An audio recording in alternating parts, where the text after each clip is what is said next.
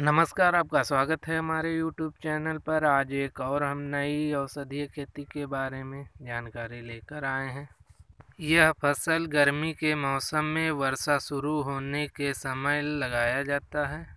अच्छी फ़सल लेने के लिए ज़मीन में नमी व मौसम शुष्क होना चाहिए। फ़सल सिंचित, असिंचित दोनों दशाओं में की जा सकती है। इसकी खेती सभी प्रकार की ज़मीन में की जा सकती है। वर्षा होने से पहले खेत की दो तीन बार जुताई कर लेनी चाहिए। बुआई के समय मिट्टी को भुरभुरा बना देना चाहिए। वर्षा पर आधारित फ़सल को छिड़काव विधि से भी बोया जा सकता है। अगर सिंचित फ़सल ली जाए तो बीज पंक्ति से पंक्ति की दूरी 30 सेंटीमीटर और पौधे की दूरी 5 से 10 सेंटीमीटर रखनी चाहिए। उपजाऊ एवं सूखे क्षेत्रों के लिए केंद्रीय औषधीय एवं सुगंधीय अनुसंधान लखनऊ की पोषिता एवं रहितता नामक प्रजातियाँ प्रयुक्त पाई गई हैं। सिंचित अवस्था में खेती करने पर पहली सिंचाई करने के लिए 15 से 20 दिन बाद सिंचाई करनी चाहिए। उसके बाद अगर नियमित वर्षा होती है तो पानी देने की आवश्यकता नहीं है। अश्वगंधा की फ़सल 135 से 150 दिनों के मध्य खुदाई के लिए तैयार हो जाती है। पौधों की पत्तियाँ व फल पीले हो जाएँ, तभी खुदाई करनी चाहिए।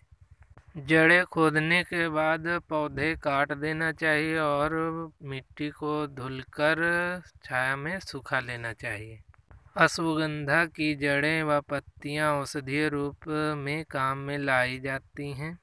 ट्यूमर प्रतिरोधी, जीवाणु प्रतिरोधी, सूखी जड़ों से आयुर्वेदिक यूनानी दवाइयाँ बनाई जाती हैं। इसकी जड़ों से गठिया रोग, त्वचा की बीमारियाँ, फेफड़े में सूजन, पेट के फोड़े तथा मदाग्नि उपचार में किया जाता है। इनकी पत्तियों से पेट के कीड़े मारने में भी प्रयोग किया जाता है।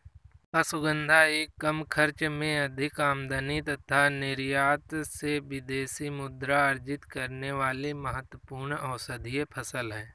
अश्वगंधा की खेती देश के अन्य प्रदेशों जैसे महाराष्ट्र, राजस्थान, गुजरात, आंध्र प्रदेश, उत्तर प्रदेश, हरियाणा, केरल, जम्मू कश्मीर इत्यादि प्रदेशों में हो रही है। खेती करने के लिए महत्वपूर्ण जानकारी, जैसे कि अच्छी जल निकास का प्रबंध करें, बालुई दोमट भूमि का चयन करें, समय पर बोन, बोनी करें, अच्छे एवं शीघ्र अंकुरण के लिए भूमि में नमी रखें, कतारों में तीस सेंटीमीटर तथा पौधों से चार पाँच सेंटीमीटर होनी चाहिए। बीजोपचार करें 20 से 25 दिन बाद छनाई या उचित पौधों की संख्या रखें। अश्वगंधा का उपयोग कई जीवन रक्षक आयुर्वेदिक दवाइयों में किया जाता है। अश्वगंधा का भाव इस समय लगभग पैंतालीस से पचास हज़ार रुपया प्रति कुंटल है। वीडियो अच्छी लगी हो तो लाइक करें, सब्सक्राइब करें और बेल आइकन को भी प्रेस करें।